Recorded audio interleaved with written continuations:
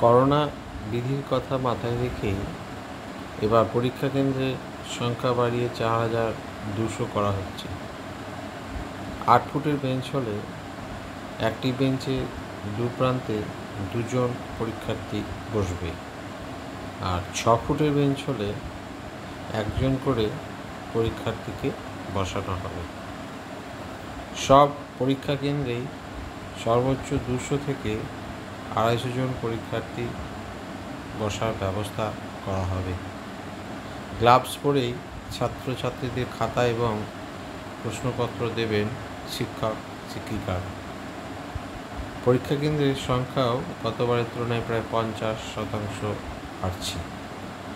মধ্যশিক্ষা পর্ষদ সূত্রে খবর, মাধ্যমিক পরীক্ষা স্থগিত হবে বা পিছিয়ে যাবে বলে কোনো বার্তা স্কুল শিক্ষা দপ্তরে বা রাজ্য প্রশাসনের থেকে তারা পায়নি। আগামী পয়লা জুন থেকে মাধ্যমিক পরীক্ষা শুরু হওয়ার কথা। আগামী পয়লা থেকে দশই জুন পরীক্ষা হওয়ার কথা।